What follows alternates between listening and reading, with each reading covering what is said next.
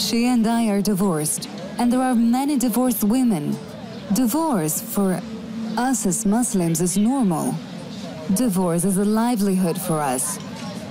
And marriage is also livelihood. Ah, so you don't feel sad when you divorce. We don't feel sad. It's just a livelihood that reached an end. This is the way we view it. If a woman gets divorced, she starts trading, buying and selling, and improves her situation. Divorce is not a problem So for her. you're not embarrassed by it? Not at all.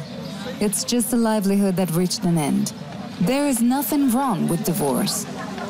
It's not a problem for us. These are your customs and traditions? Yes, it's normal for us. Here we call it livelihood. Do you know what livelihood means? Livelihood? It's just a relationship that's over. Then someone else comes, and the woman marries again.